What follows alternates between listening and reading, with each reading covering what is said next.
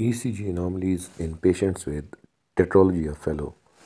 right atrial enlargement, right ventricular hypertrophy, right axis deviation, right bundle branch block, especially after corrective surgery, left anterior fascicular block,